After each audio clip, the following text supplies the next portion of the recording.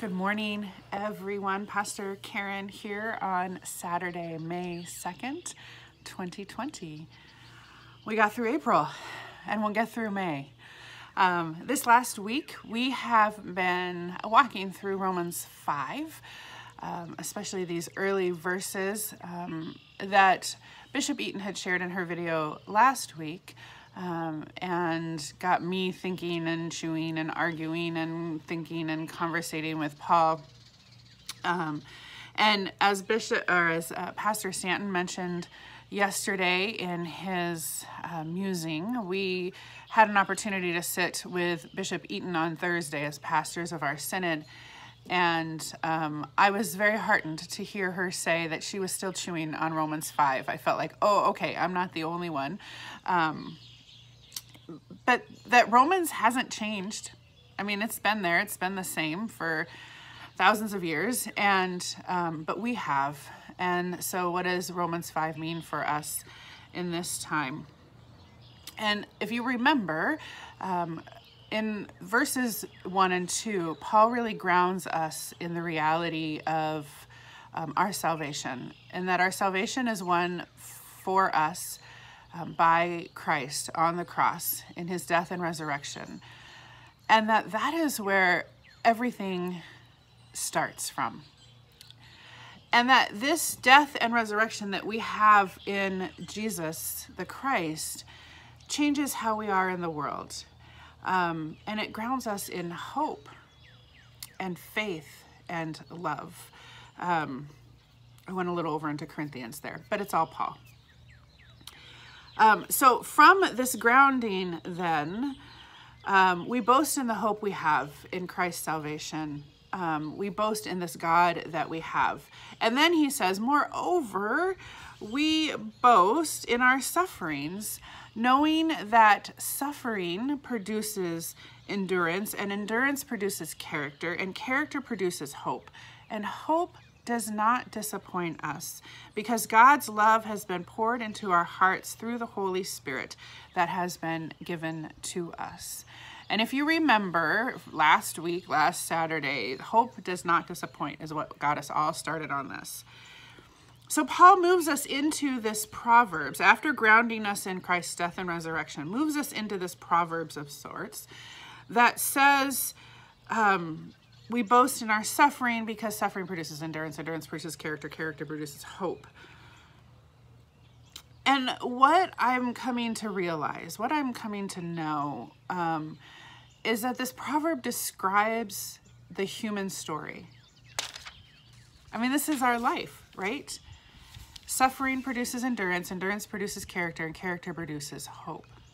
I mean, the reason that we, as we get older, are able to take things a little bit easier, are able to um, be a little more thoughtful about how we approach things, um, have hope, is because we've lived through other sufferings. We've lived through other things um, that have caused us to build up our endurance, our character, and our hope that teach us the truths not only of ourselves but of our God um, and of each other.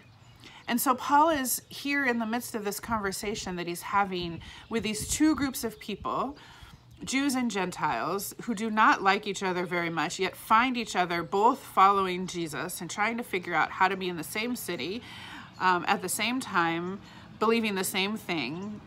He first grounds us in Christ's death, death and resurrection, and then grounds us in the human story. Like, just because I'm a person who lives in Wisconsin doesn't mean I'm any different in terms of my humanity from someone who lives in Africa or someone who lives in Russia or who lives in California, right? We're all human beings first and foremost. And through our story, through our humanness, we experience suffering. That's part of our life. We also, of course, experience joy. But what this does is grounds us first in what we have in common and builds our empathy and our love for one another. Because when I encounter suffering in the world, um, in people that I meet, I can have empathy with them because I too have experienced suffering. It may not be the same suffering, but it touches that human being part of me to the other person. And we see each other's humanity. And we remind each other that we're not alone, even if our suffering isn't the exact same. And then, what Paul will eventually get to is that moves us to help end suffering in the world. And all of this helps develop who we are, our character, our hope, our belief, our faith. And we boast in these things because of the love we have in God, which is given to us through the death and resurrection of Jesus. It's poured into our hearts by the Holy Spirit, Paul tells us. Paul isn't being a know it all here, except that he is.